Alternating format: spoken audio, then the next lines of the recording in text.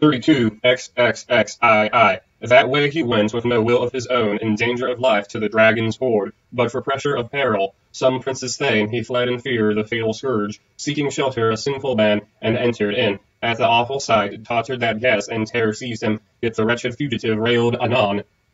From fright and fear ere he fled away, and took the cup from the treasure hoard, of such besides there was store enough, heirlooms old the earth below, which some earl forgotten in ancient years left the last of his lofty race, heedfully there had hidden away, dearest treasure, for death of yore had hurried all hence, and he alone left to live, the last of the clan, weeping his friends yet wished to bide, warding the treasure his own delight, though brief his respite, the barrow new ready, the strand and sea waves stood anear, hard by the headland hidden and closed, there laid within his lordly heirlooms, and heaped a hoard of heavy gold, that warden of rings, few words he spake.